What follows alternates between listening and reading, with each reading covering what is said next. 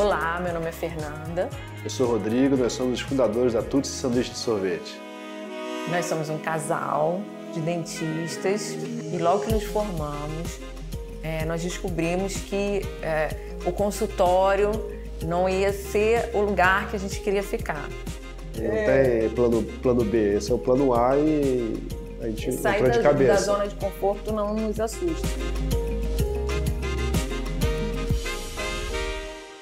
Fernanda cuida da parte de, de marketing, propaganda, ela cuida toda dessa parte digital nossa.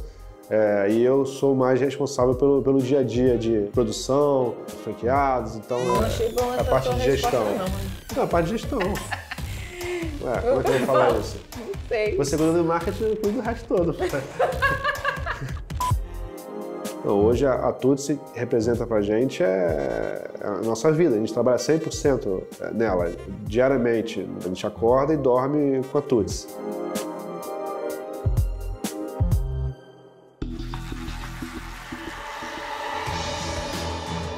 Dentistas fazendo doces? Ué, mas doce não dá cárie, gente? Algo me diz que esse casal tem grandes chances de conquistar os tubarões pela boca. Olá, tubarões. Meu nome é Fernanda. Sou Rodrigo, somos fundadores da Tutsi Sanduíche de Sorvete. Vou contar um pouquinho da nossa história para vocês. Somos um casal de dentistas cariocas, inquietos e que sempre gostamos de empreender. Em 2015, numa viagem a Singapura, nos deparamos com um sanduíche de sorvete no pão francês. E aí ficamos encantados. Logo depois, numa viagem à França, nos deparamos com outro sanduíche, agora de macarrão com sorvete. E aí, depois de estar no mercado e ver que não tinha nada parecido, resolvemos largar a odontologia e mergulhar 100% na nossa missão. Democratizar o consumo de doces diferentes. São do- 2.660 combinações, onde o cliente pode personalizar o seu sanduíche de sorvete, misturando entre macarrões, brownies e sorvetes. O cliente ele pode voltar durante sete anos, todos os dias, e consumir uma sobremesa diferente a cada visita. Hoje nós temos seis unidades, entre própria e franqueada. E hoje estamos em busca de 500 mil reais por 25% de nossa empresa. E aí, tubarões, vamos levar a experiência Tuts para todo o Brasil, encher esse país e esse mundo de cor, sabor e diversão? Ao lado de vocês tem um cardápio nosso, que tem as nossas opções, a nossa experiência. Vocês poderem selecionar a combinação de vocês e o, o Max aqui vai estar fazendo para que a gente possa servir para vocês no, no negociarem de barriga vazia. Haja opções de sorvete, hein? A ideia é essa. Agora, isso não traz para vocês um fator complicador ou um aumento de capital de giro para manter esse volume de, eh, eu diria, de ingredientes ou de frutas ou de sabores, Não, a- enfim? a gente até brinca que a gente faz uma mágica com uma vitrine pequenininha, com 12 produtos de confeitaria e 11 sabores de sorvete. A gente consegue fazer 2.660 É. combinações, ou seja, até pro, pro franqueado ou pro administrador, Bacana. pro gestor, é bem fácil controlar. O franqueado recebe todos os produtos prontos já. Então ele não precisa ter experiência nenhuma com alimentação. Ele precisa de treinamento. Vocês têm seis unidades, né? Você Perfeito. falou. Onde que elas ficam? Qual o tamanho delas? Nós e- temos, na verdade, são três modelos. Nós estamos no Rio de Janeiro, São Paulo e no Tocantins. É, nós temos três modelos, um de entrada, que é um, é um mini quiosque, que se enquadra mais como micro franquia. É, nós temos um modelo de 6 metros quadrados, seria o quiosque é, tradicional. Tem o modelo loja, que a gente uniu a cafeteria com a, a- a nossa experiência Tutsi. Todas elas em operação. A distribuição de vocês é um negócio muito complexo. Sorvete é muito complexo de fazer e você tá falando. É leite isso aqui, né? Tem, de- Não, tem a tem- base d'água a base também. d'água. Tem- tem, então, mas de qualquer forma, é, é o, o transporte Sim. muito. Delicado. Muito, a logística é muito complexa, então eu queria saber quem fabrica isso aí, como está o sistema de distribuição de vocês. A gente produz, a parte de confeitaria toda é nossa, nossa produção. Nós somos do Rio de Janeiro, matriz, e, e distribuímos em São Paulo. Nós, nós levamos essa carga para São Paulo, com o centro de distribuição ponto aqui, e a partir daqui a gente faz essa distribuição de congelado, que é o congelado mais, mais light, que é o menos 10. Esse que você está falando é ultra congelado, esse é o, é o problema. É. E a gente, por opção por- de negócio, a gente quebrou a produção. Nós homologamos fornecedores, nós temos homologa, homologados fornecedores do sul, do, do sul, do sudeste e que trabalha centro-oeste. Então, é, a gente quebrou para poder fazer justamente essa, essa perna Brasil, que a gente quer abraçar o Brasil inteiro, então não tem como ser própria um caminhão saindo do Rio, impossível. Opa, vamos degustar. Obrigada.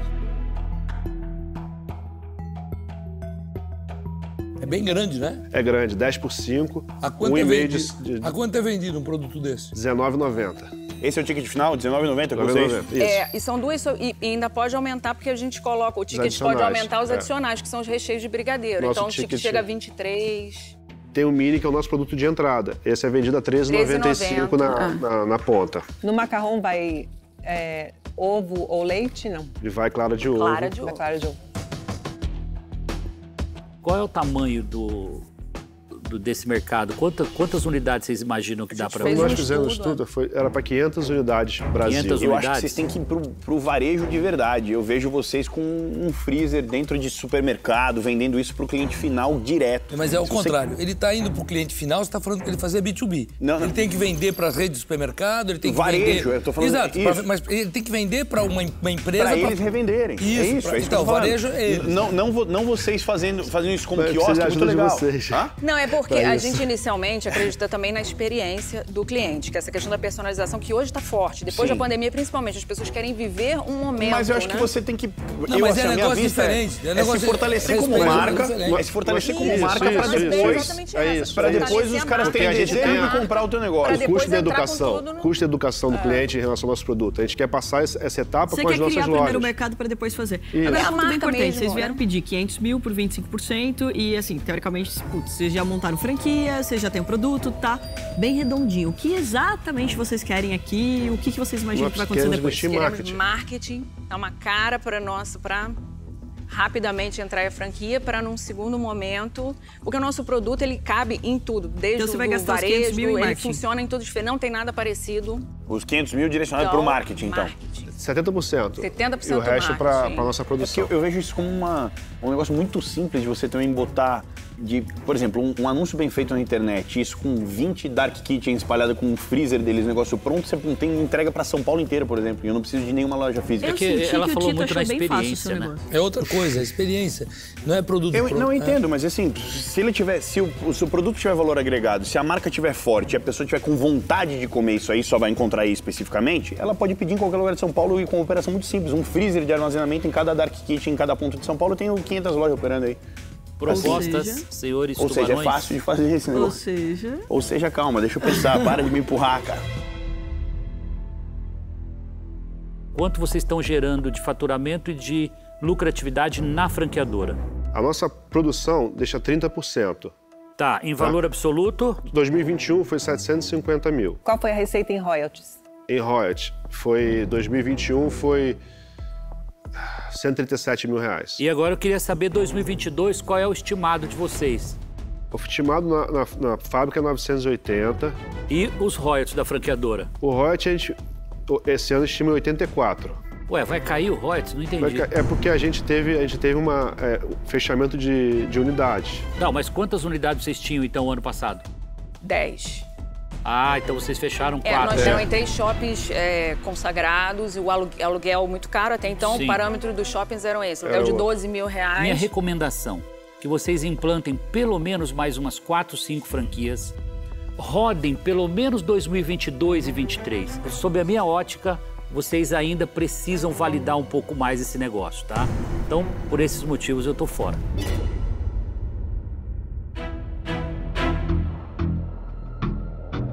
Eu gostei muito do conceito todo, o produto, os meus filhos iam pirar. Mas eu tenho um conceito de alimentação saudável, do que, que eu acho que é ideal. É meio idealista, tá? Então por esse motivo eu tô fora. Qual é a capacidade de produção de vocês hoje nessa fábrica que vocês estão? E quanto vocês estão produzindo?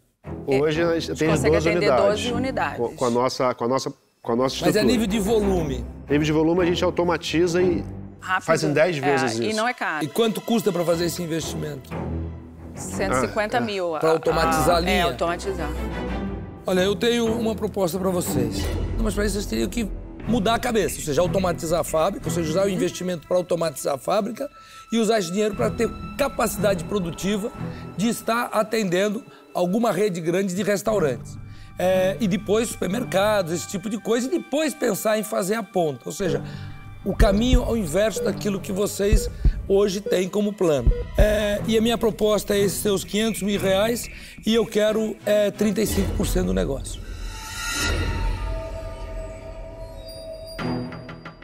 Bom, Fernando e Rodrigo, né, tem uma marca de sorvete saudável. Sou focada mais nessa alimentação saudável, assim como a Sandra. Eu acho que vocês têm uma proposta aí do João.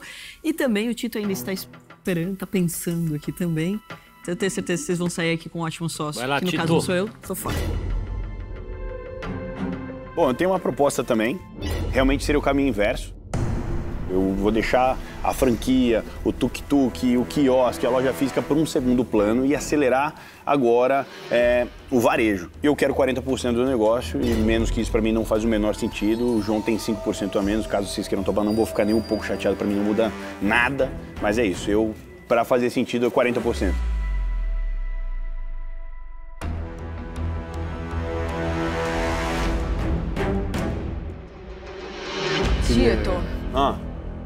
Vamos com você. Espalhar bom sabor por eu esse Brasil gosto é todo. disso que eu tô falando. Muito obrigado. Muito obrigado. Prazerzaço. A gente vai fazer fusão de outras coisas aí também. Obrigadaço. Valeu. Parabéns! Tchau, gente. Tchau, obrigado, obrigado, João. Obrigado. Parabéns! Muito obrigado. Parabéns, Tito. Muito obrigado, muito obrigado. Foi na boca certa de pessoas certas pra comer esse negócio, esse negócio estoura. Eu duvido que quem assistiu não ficou com vontade de provar. Curtiu esse vídeo? Clique aqui, se inscreva no canal e mande para o seu amigo que está precisando de dicas sobre empreendedorismo.